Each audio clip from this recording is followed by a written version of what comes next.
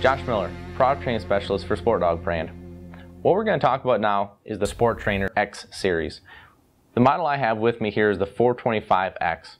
What this family has is 21 levels of static stimulation, tone, and vibration. So you have multiple ways to communicate with your dog.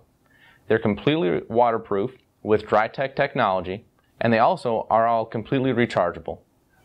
With 500 yards of range, you'll be sure to be able to effectively communicate with your dog whether you're in the field or in the backyard. For more information on the Sport Trainer X line and everything else Sport Dog has to offer, please visit us at sportdog.com.